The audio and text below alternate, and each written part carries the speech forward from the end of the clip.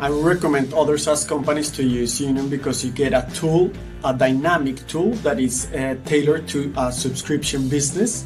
uh, with different business models, and you get the KPIs to be able to drive your business forward.